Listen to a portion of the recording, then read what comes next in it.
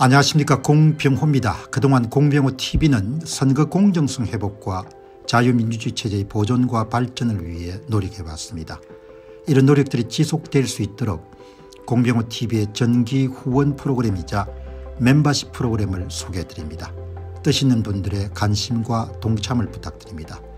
선거 공정성 회복을 위한 노력을 지지하시고 훌륭한 나라 만들기에 동참하시는 시청자분들이시라면 구독 버튼 바로 옆에 있는 가입 버튼을 통해서 정기 후원 프로그램에 가입할 수 있습니다. 가입 버튼을 누르시면 공병호TV의 후원자가 되시게 됩니다. 여러분의 후원이 선거 공정성 회복을 위한 노력에 힘을 더할 수 있을 뿐만 아니라 자유민주주의 체제의 수호를 그리고 발전을 통해 여러분과 후손들의 삶에 빛과 소금이 될 것입니다. 특히 그동안 공병호TV는 선거 공정성 회복을 위한 노력 과정에서 채널 성장에 제약이 가해지는 불이익을 감수해왔고 지금도 그런 불이익이 계속되고 있습니다. 그럼에도 불구하고 너무나 중대한 문제이기 때문에 공병호TV의 노력은 계속될 것입니다. 여러분의 깊은 관심을 부탁드립니다. 감사합니다. 자 여러분들 다음은 문재인 정신 구조입니다. 뭐 문재인 대통령만 두고 드리는 말씀이 아니고 그 동네 사람들이 대부분 다 비슷합니다. 조국 여러분들 시가 항상 윤 대통령 책임을 돌리지 않습니까 잘못한 건 본인이 잘못했는데 예. 뭐 인턴 뭐 이런 거 위조하고 이런 건 본인이 한 거지 않습니까 그러나 모두 다 윤 대통령의 책임을 돌리지 않습니까 당신 때문에 내 인생이 이렇게 꼬였다 그렇게 예. 그게 아주 전형적으로 좌파적 사고에 익숙한 사람들이 갖고 있는 그런 모양새지 않습니까? 책임지지 않고 그리고 예, 상대방의 책임을 떠넘기는 그런 모양새 속죄양 같은 걸 삼아 가지고 이 문재인이란 사람이 갖고 있는 내용이 이 오늘 조선의 사설이 객관적 사실보다 김정은 말을 더 믿는다는 전직 대통령 이번에 이런 회고록에서 나온 주요 대목을 보게 되면 좌파들의 특성을 아주 저는 잘 담아낸 사례라고 그렇게 보거든요. 이 사람들은 예. 이 좌파들은 기본적으로 사실을 그렇게 중시하지 않습니다. 본인의 느낌 본인의 감정 이런 것을 중시하지 사실을 중시하지 않는 거죠. 객관적 사실을 중시하게 되면 뭐 나라가 여기까지 오지 않았겠죠. 소득주도 성장 임금주도 성장 임금을 올리면 성장률을 높일 수 있다는 거 아닙니까 그거는 경제학계에서 여러분들 검증받은 적이 전혀 없는 요술이거든요. 요술 궤변이거든요. 그러나 그것을 전 국민을 상대로 해서 실험으로 대상으로 삼아가지고 여러분들 밀어붙이지 않습니까 예. 그러니까 이 사람들은 객관적 사실이 중요한 게 아닙니다. 그렇기 때문에 이 사람들이 이제 권력을 오래 장악하는 그런 상태가 되게 되면은 나라의 상황이라는 것이 어떻게 될지는 직접 경험해 보지 않더라도 유추가 가능한 거죠. 그렇기 때문에 이 사람들의 정신구조를 우리가 들여다보지 않을 수가 없는 겁니다. 이 보시게 되면은 여기 김정은이 핵을 사용할 생각이 전혀 없고 딸 세대한테까지 핵을 머리에 이게 이고 살게 할 수 없는 것은 아니다. 이 사람들은 항상 사실을 직시하는 것이 아니고 본인이 보고 싶고 믿고 싶은 것을 사실로 받아들이는 그런 경향이 강한 거죠. DJ가 여러분들 북한에 돈을 줄 때는 분명히 믿음이 있었을 겁니다. 하나는 우리가 이렇게 도와주면 좋은 호의 아, 반응이 돌아올 것이다. 그리고 김정은 김정일이 예, 우리는 핵 개발해서 남한을 위해 쌀 사용할 그런 의지가 없다 그걸 믿었을 겁니다. 그렇게 대부분 다 쓸모있는 바보들이죠. 레닌식 표현을 따르게 되면 은이 보시게 되면 은 중장거리 미사일은 보유한 것이 없다 이렇게 김정은이가 뻔한 거짓말 하더라도 그거를 믿는 겁니다. 믿고 싶으니까 사실을 믿는 것이 아니고 믿고 싶은 것을 믿는 것이죠. 그 이게 이런 좌파들이 갖고 있는 어마어마한 치명적인 여러분들의 중심입니다. 사실을 믿는 게 아닌 거죠. 사실을 가장 정확하게 보려고 노력하는 사람들은 사업가들일 겁니다. 사업가들은 사실을 보지 않으면 망하거든요. 사실을 외면하면 사업가들은 100% 망하는 겁니다. 지금 윤석열 대통령은 30년 동안 봉급을 세금으로 받은 사람이지 않습니까 그러니까 윤 대통령이 아무리 폼을 잡으시더라도 윤 대통령은 그렇게 치열함을 경험해 본 사람은 아닌 겁니다. 돈은 피지 않습니까 돈을 버는 것은 치열함 그 자체거든요. 치열함이 없으면 돈을 그래서 조금이라도 사업가나 자영업을 해본 사람들의 삶하고 평생 봉급 생활을 해본 사람은 삶의 밀도가 많이 다른 거죠. 사업가는 그냥 망하는 겁니다. 어제가 없지 않습니까 오늘 소개해 드리겠지만 SK하이닉스가 고대역풍 메모리 5세대까지는 주도적인 위치를 차지했는데 6세대가 되면서 여러분들 소위 베이스 로직 다이가 자체적으로 생산할 수가 없으니까 힘의 이동이 되지 않습니까 그러니까 뭐 언제든지 회사는 그냥 갈 수가 있는 겁니다.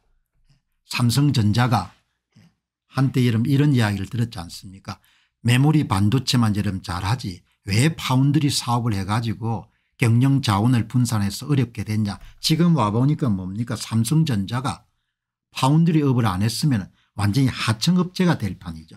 왜 AI 반도체가 이런 주류를 가지면서 메모리 여러분들 반도체가 비메모리화 해가는 그런 특성을 그렇게 세상이 바뀌었으니까 예.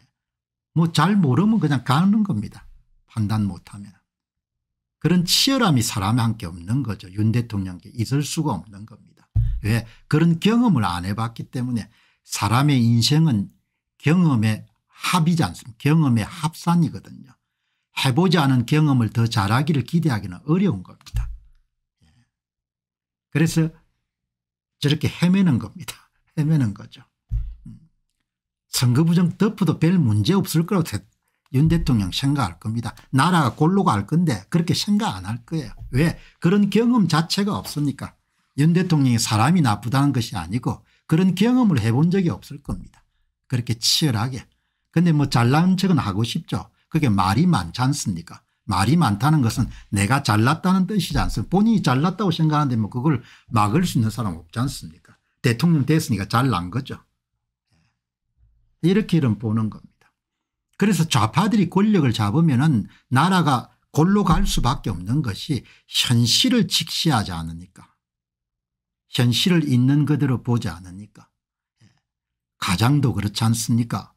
현실을 직시해서 거짓과 참을 구분할 수 없으면 항상 가장이 이런 밖에 가가 이런 사기를 당하고 쏟고 하게 되면 집 식구들이 이런 거리로 나앉을 수밖에 없지 않습니까 김정은이가 이런 거짓말 하는데 그걸 변별할 수가 없으면 예, 본인만 망하는 것이 아니고 예, 자기에게 표를 준 표를 줬거나 안 줬거나 간에 어떻든 간에 자기 휘하에 있는 국민들이 전부가 거리로 나앉을 수밖에 없는 겁니다. 이런 사람들이 재임했으면 나라 완전히 팔아먹었을 겁니다. 저는 2018년도에 종전선언 평화협정 뭐 이렇게 는 분위기 몰아갈 때야 나라가 저렇게 골로 가겠구나 그렇게 생각했는데 다행히 미국이 뭐 브레이크를 걸어 가지고 목숨을 구한 겁니다.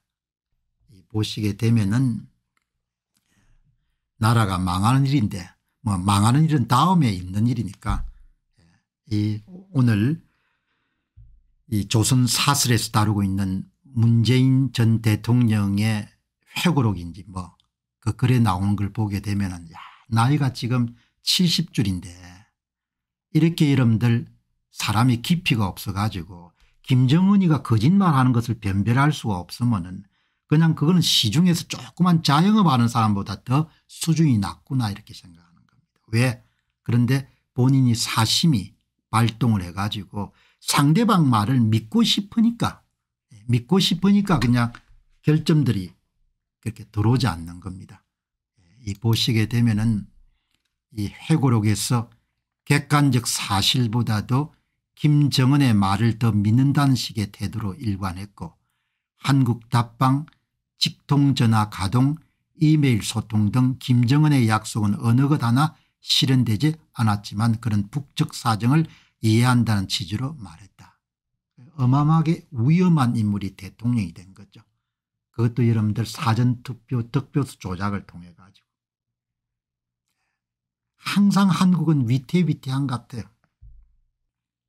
그런데 이런 류의 사고방식을 가진 사람들이 이제 권력을 수십 년간 행사한다고 가정해 봅시다. 뭐가 여러분들 나, 남아나겠습니까 남아날 수가 없는 겁니다. 예. 저보고 지나치게 비관적이다 이렇게 보실 수 있는 분도 계실 겁니다. 그러나 저는 예, 합리적으로 추론하기 때문에 제가 틀릴 수가 있지만 이, 이런 류의 사람들이 수십 년 간다는 겁니다. 김정은이 연평도 포격 사건으로 교통을 겪는 주민들을 위로하고 싶다. 고 말했다거나 친서했어. 예. 이런 동정심을 가진 사람이 고모부를 뭡니까 그렇게 잔혹하게 살해하고 예. 그건 뭐 말이 안 되는 겁니다. 예. 외교적 수사와 진짜 쏙내도 구분할 줄 몰랐음을 자인한 셈이다. 이런 류의 정신적인 상태를 가진 사람들이 이제 권력을 장악해 가지고 국민들이 권력을 제어할 수 있는 수단을 완전히 빼앗긴 상태에서 완전히 무기력한 상태에서 예, 그들이 수십 년이 될지 수백 년이 될지 독주를 할 수가 있으니까 그거를 용인하고 있는 대통령을 제가 보기에 참 대통령은 훌륭하십니다 이런 이야기가 어떻게 나오겠습니까 나올 수가 없는 거죠. 예. 이렇게 보면 은 윤 대통령은 정말 치열함이란 게 없는 것 같아요. 평생 동안 여러분들 그냥 봉급이 나왔으니까. 그리고 항상 갑의 위치에 있었으니까. 그리고 항상 명령에 따라 움직이는 여러분들 조직생활을 했으니까. 그 상대방의 가공할 적들이 기만하고 책략을 뿌리고 이런 부분들에 대한 이해가 없는 거죠. 아무튼 현재처럼 이렇게 선거 문제가 어렵게 꼬여가지고 나라가 어려워지는 데는 윤 대통령의 책임이 어마어마하게 큰 겁니다. 국가 지도자가 어떤 인식을 갖고 있느냐 판단 능력을 갖고 있냐에 따라 가지고 어떤 국가들은 여러분들 도약을 할 수 있고 어떤 국가들은 그냥 몰락을 할 수가 있지 않습니까 그 정말 참 이런 문제를 보면서도 저는 현재 문제 과거 문제뿐만 아니고 나라가 처하게 될 상황에 대한 부분을 우려하지 않을 수가 없는. 대한민국 공직선거의 문제점을 파헤친 첫 번째 책을 펴냈습니다. 제목은 도둑놈들 1권 선거 어떻게 훔쳤나 2017년 대통령 선거로부터 2022년 대선과 지방선거까지 전산 조작을 이용해서 후보별 득표수를 어떻게 조작했는가를 낱낱이 분석한 책입니다. 선거를 바로 세우고 나라를 바로 세우는 일에 여러분께서 힘을 더해 주시기 바랍니다.